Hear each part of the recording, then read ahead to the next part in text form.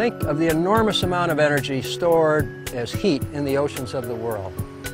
If we had the ability to plumb that heat source, we could provide an inexhaustible supply of clean, renewable energy. And that is the challenge that Lockheed Martin has accepted by the development of its OTEC system, which will change the game in energy forever. OTEC works by processing the temperature differential between the hot surface water of the ocean and the cold water of the deep to produce electricity.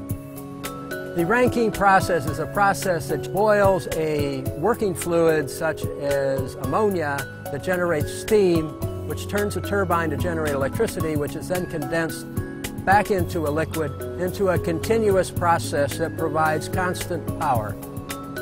80% of the energy that is received from the sun by the earth is stored in the world's oceans.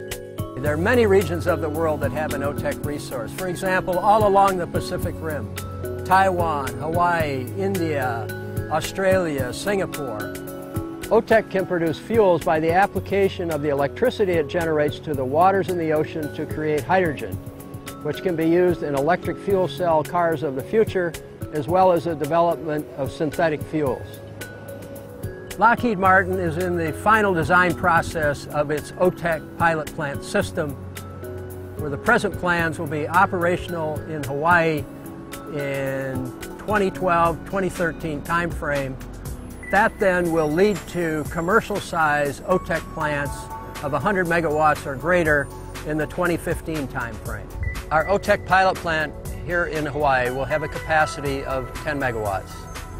The follow-on plants will have a capacity of 100 megawatts, which is a size that can power a small city. For a small city, the CO2 generated by a fossil fuel plant is millions of tons per year, while for OTEC it would be zero. Presently, the state of Hawaii spends over $8 billion a year on importing foreign fossil fuel. OTEC has the potential to replace all of that imported fossil fuel and to use that money to develop the OTEC industry here in Hawaii to provide many thousands of jobs. And also beyond that, in the United States, we could create millions of new jobs based on the OTEC economy.